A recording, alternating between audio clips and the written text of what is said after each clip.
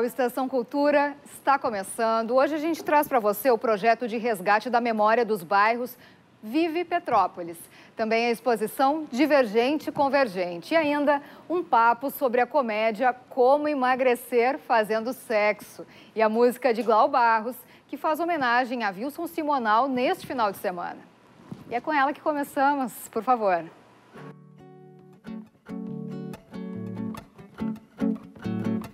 Descendo a rua da ladeira, só quem viu que pode contar. Cheirando a flor de laranjeira, samarim, levei pra dançar. De saia branca costumeira, gira o sol que parou pra olhar. Com seu jeitinho tão faceira, fez o povo inteiro cantar. Roda pela vida pra fora essa alegria. Dança que amanhece o dia pra se contar. Dança que essa gente aflita se agita e segue no seu passo. Mostra toda essa poesia no olhar. Deixando versos na partida e só cantigas pra se contar.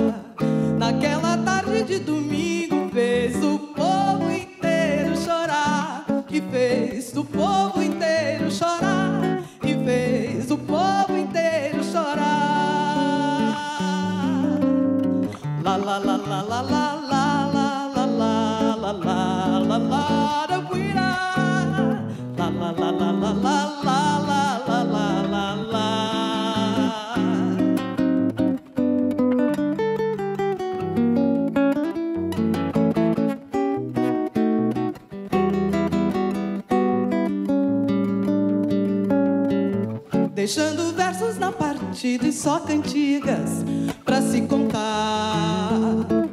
Naquela tarde de domingo fez o povo inteiro chorar e fez o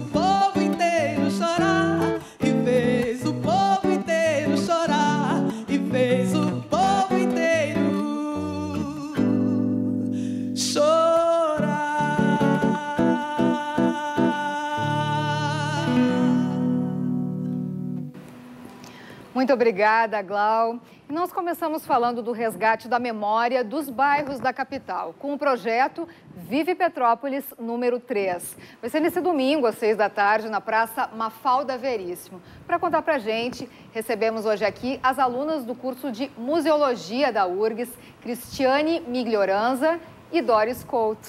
Tudo bom? Olá. Tudo bem. Sejam bem-vindas. Obrigada.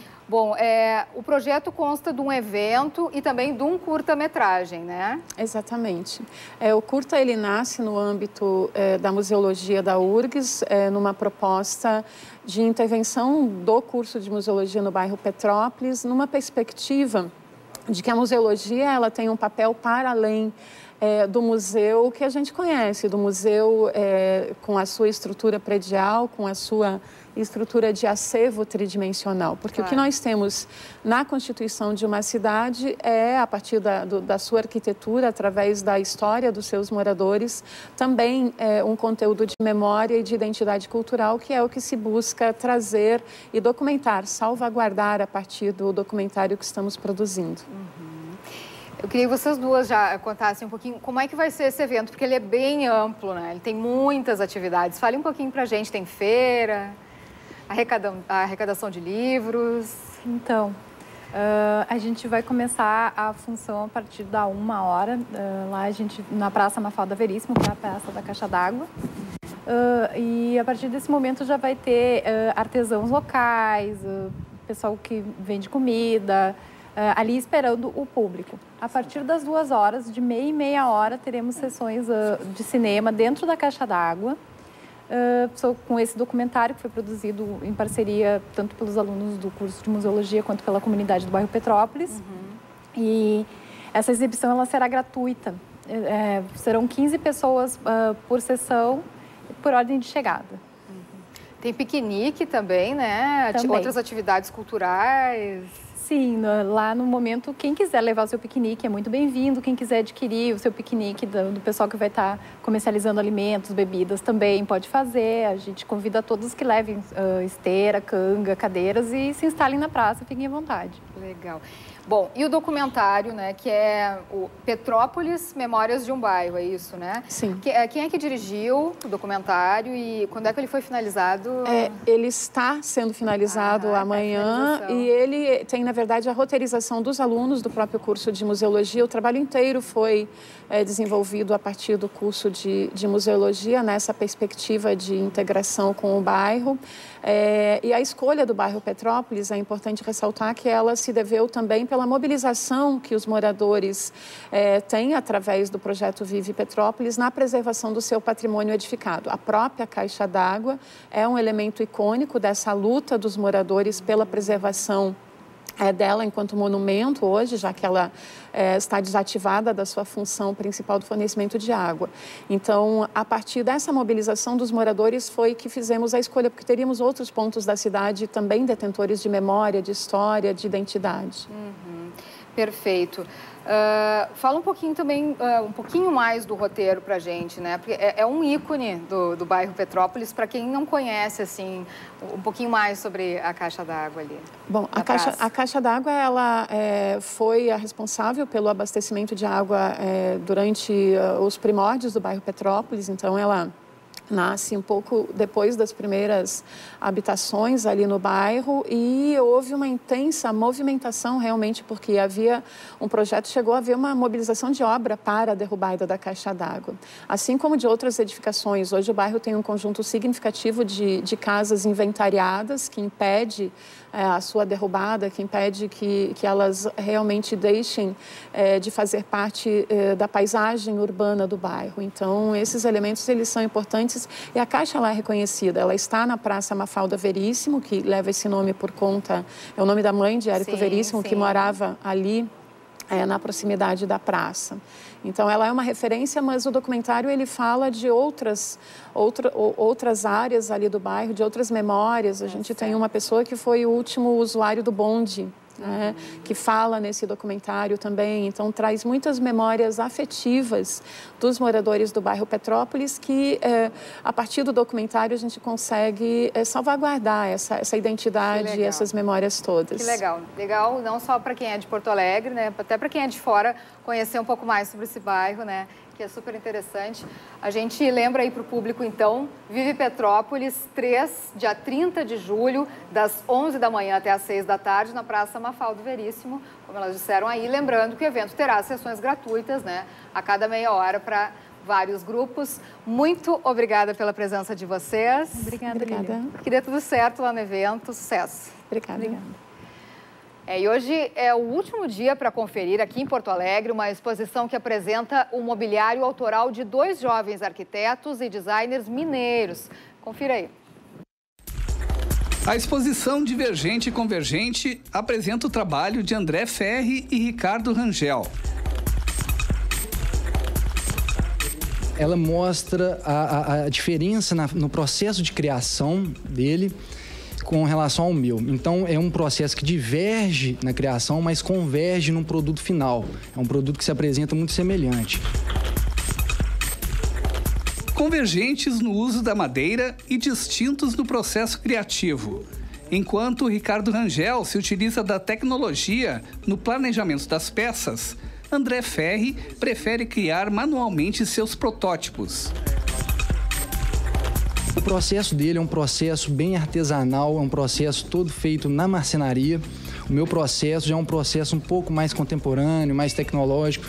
Eu uso de, de artifícios como impressora 3D, como é, modelagem, softwares de computadores mais, mais recentes, para poder depois levar isso para a marcenaria. O elemento principal das nossas peças é a madeira, é onde a gente encontra aí um, uma, uma liberdade maior da gente poder produzir os nossos traços mais fluidos, né? Então, e a gente carrega um pouco da identidade do, do, do mobiliário brasileiro nas nossas peças, né? O que é o móvel autoral? Pois é, o móvel autoral é um móvel que, que, carrega uma identidade forte nele, né? É um móvel com desenho próprio que ele por si só já transmite alguma, algum sentimento, alguma emoção para aquela pessoa né, que está que tá observando ou que está usando aquele móvel. Qual é a procura por móveis autorais aqui em Porto Alegre? É, nós estamos apostando justamente porque notamos que vem crescendo não só a procura, como também está aumentando o reconhecimento do móvel autoral. Né? Então, a gente vê que hoje o cliente chega na loja, ele olha uma peça, ele olha, ele reconhece que tem um trabalho por trás, que tem que as pessoas estão cada vez buscando mais único, né, o diferenciado. E especificamente sobre esses dois designers que a gente trouxe, que tem um trabalho muito manual, né, tem peças ali que vão ter edição limitada de sete peças apenas, isso atrai ainda mais, né.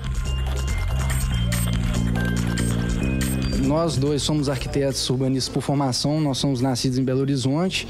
É, arquitetos urbanistas por formação e designers por vocação, né? É, desde que eu me entendo por gente, eu estou envolvido nesse meio, porque sou filho de pais arquitetos que desenham móveis. Então, é, sempre fui criado no chão de fábrica, como a gente fala, né? A gente tem uma marcenaria que produz os nossos móveis. Então, eu tive uma relação muito próxima com isso toda a vida, né?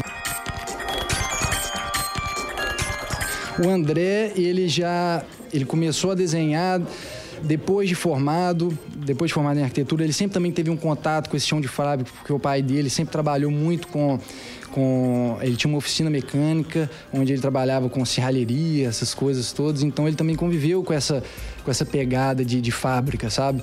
Então ele sempre teve esse esse esse desejo meio que oculto e assim a, a partir da, da, da, arquitetura ele também desenvolveu essa essa, essa habilidade, né, de lidar com, com o mobiliário.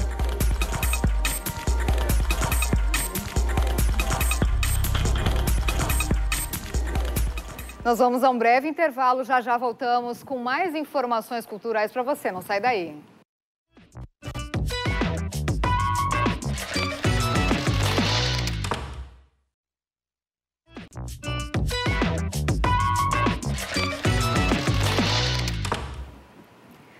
Uma curtíssima temporada aqui na capital traz novamente ao palco a comédia Como Emagrecer Fazendo Sexo. Dessa vez no Teatro da Santa Casa. A peça tem 12 anos de trajetória, lotando nos últimos anos teatros do interior do estado. Eu recebo aqui o diretor da peça, Ayrton Oliveira. Tudo bom? Seja bem-vindo. Tudo bem, muito obrigado. Ayrton, qual é o, qual é o segredo para esse sucesso aí, 12 anos em cartaz? Não é para qualquer um, né? É, é, a gente faz muito tempo que a gente não faz em Porto Alegre, Sim. mas a gente tem feito no interior, fez temporada no Rio, faz no interior de Santa Catarina e a gente estava até agora com o mesmo elenco sempre, né, uhum. no espetáculo. O Dr. Carlos teve que, que é o personagem principal, teve que se se retirar um pouco porque ele fez uma cirurgia no joelho, que é o Pablo Capalong, e a gente está com o Evandro Soldatelli fazendo o Dr. Carlos. Sim. Uh, o demais segue o mesmo elenco. E, na realidade, é um espetáculo que deu certo desde o dia da estreia, quando a gente estreou no dia 1 de julho de 2005, uhum. na Casa de Cultura Maria Quintana, que lotou no primeiro dia. No segundo dia, a gente fez duas sessões e seguiu. Ficamos cinco meses em cartaz direto na Casa de Cultura. E sempre que a gente faz, aonde a gente vai, tem ótimo público e, e é muito divertido, o pessoal se diverte bastante. E tu disse que manteve praticamente todo o elenco. Tu pode falar aí um pouquinho pra gente quem é que faz parte? O elenco são três atores, que é o Dr. Carlos, que é o Pablo Capalonga, uhum. né, que agora quem vai fazer é o Evandro Soldatelli, a Luciana Marcon, que é a Dona Teresa, que é a paciente, e o ogro da história, que é o ajudante do, do do doutor, que é o Cláudio Benevenga, que faz o Rogério, que é um ogro, né, que se mete e atrapalha toda a consulta.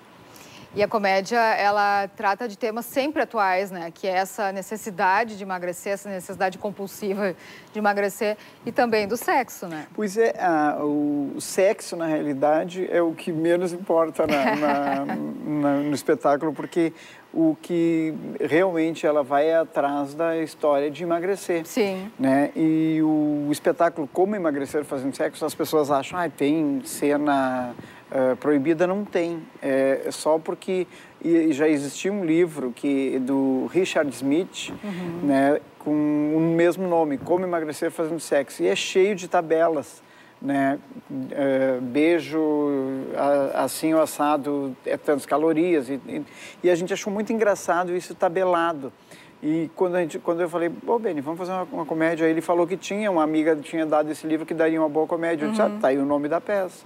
Então, é, fala, assim de, fala de posições sexuais, fala de beijo, de, né, de, de várias coisas em, relacionado ao sexo. Mas não de uma forma Mas explícita. Mas não de uma forma explícita, é claro. com muito humor, muita Uh, inteligência, inclusive o texto, que é do Cláudio Benevenga, foi indicado a melhor texto dramático em 2005, né, pelo o Prêmio Açorianos. Pois é, eu ia dizer, vocês já receberam mais de um Prêmio Açorianos é, pela peça, e né? o Cláudio ganhou o melhor ator coadjuvante.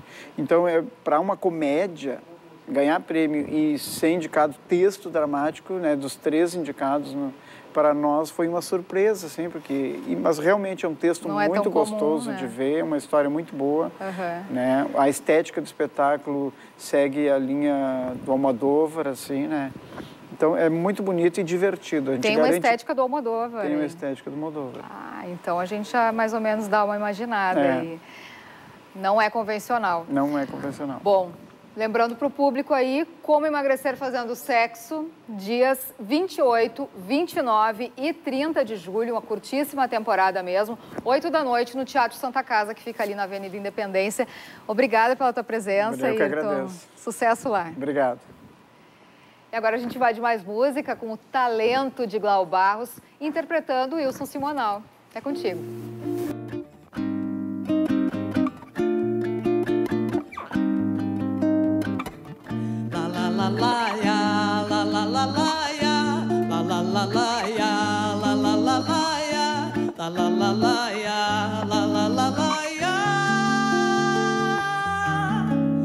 Sim, sou negra de cor, minha irmã de minha cor.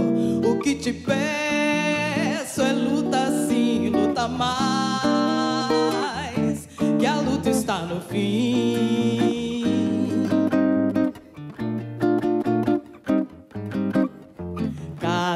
Negra que for, outra negra virá para lutar com sangue ou não, com uma canção. Também se luta, irmão, ouve minha voz. Oh yeah, luta por nós, luta negra demais. Vem lutar pela paz, luta negra demais para sermos iguais, para sermos iguais. La la la la la la la la la la la la la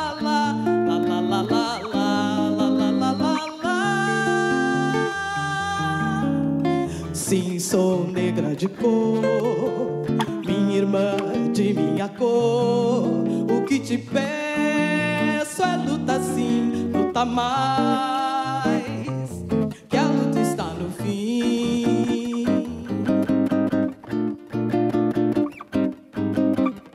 Cada negra que for, outra negra virá para lutar com sangue ou não, com uma canção.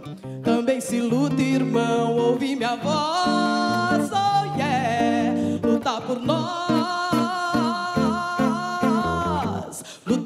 negra demais. Vem lutar pela paz,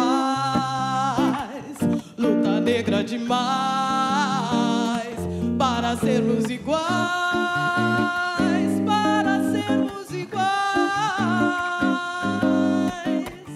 La la la la la la la la la la la la la la la la la la la la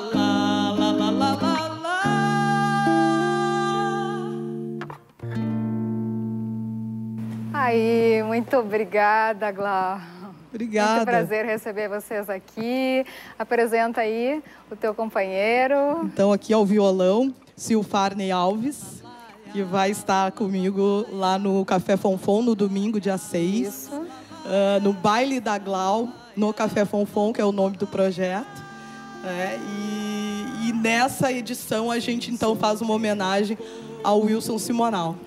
Perfeito, isso que eu ia te perguntar, né? É, é, é um dos cantores mais populares dos anos 70, né?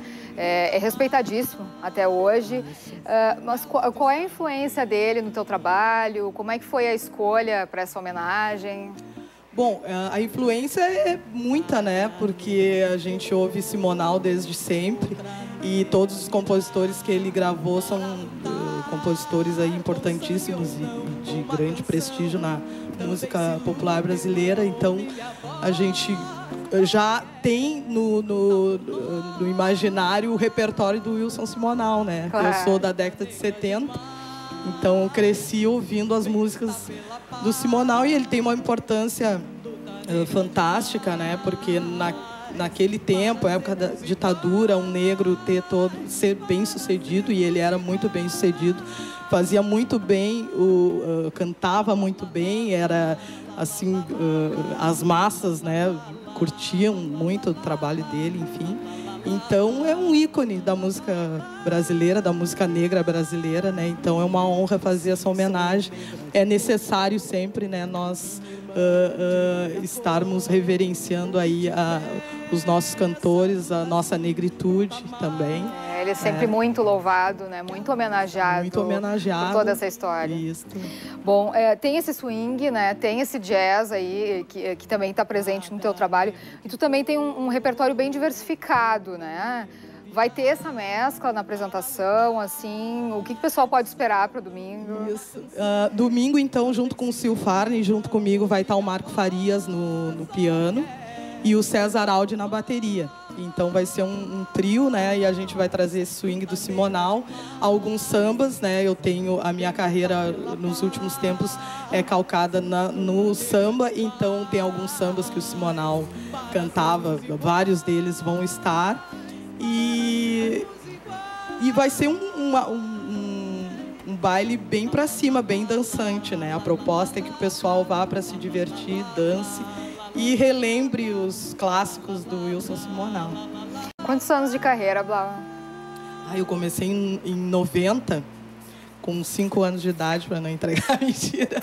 Eu nasci em 70, é, tô com 20, 25 anos de carreira, é, já. E entre música e teatro, né? Teatro eu comecei em 98, 2000. Uh, e de lá para cá venho aliando as duas, uh, as duas profissões, né? De cantora e atriz. Nos últimos dois anos, dois anos e meio, eu tenho então dado mais atenção à carreira de cantora e estou agora com uma campanha de financiamento coletivo para a gravação do meu primeiro CD. Que legal! Que é o CD Samba Que Te Quero Samba tá pela plataforma Kikante. Uhum. Né? Tenho na minha página, tem a página Glau Barros, tem o perfil lá. Tem então o, o link para quem quiser contribuir para a realização desse primeiro trabalho. A gente está fazendo, tá então uh, em plena campanha da, da, de crowdfunding, né? Essa nova ferramenta aí para nem tão nova, né? Mas institucionalizado claro. ultimamente. Perfeito. É. Para finalizar, aí, quem são mais os músicos que vão te acompanhar? É o, é, são três, é ah. o Sil Farney, o Marco Farias no teclado e piano e o César Aldi nessa noite, né? Geralmente a gente toca com diversos músicos bacanas aí da cidade, mas nessa noite vamos estar os três e, e eu também. E tem mais um evento que a gente vai fazer no dia 6, já vou aproveitar para convidar o pessoal de casa, que é uma feijoada cultural lá no chalé da Praça 15. E neste dia, então, vai ter uma roda de samba e os ingressos vão, tão, estão à venda na Lancheria do Parque, no Café Cantante, ali no, no Bonfim. Uhum. Né? E vai ser também parte do, do dos ingressos, da venda tá. de ingressos, vai para a campanha. Né? Vai ter Maravilha. a roda de samba e também uma sessão de autógrafos com Juremir Machado da Silva, da Silva do livro, o último livro que ele lançou. Jornalista, Isso, escritor aí. Jornalista, Maravilha. Fica o convite, então, aí para o público, né? Lembrando o Baile da Glau, que é no dia 30, das 7 às 9 da noite, no Café Fonfon, Rua Vieira de Castro 22. Muito prazer, muito sucesso. Prazer foi meu. E obrigada pela companhia dos telespectadores também. Encerramos mais essa edição do Estação Cultura e deixamos você com mais boa música. Tchau, até amanhã.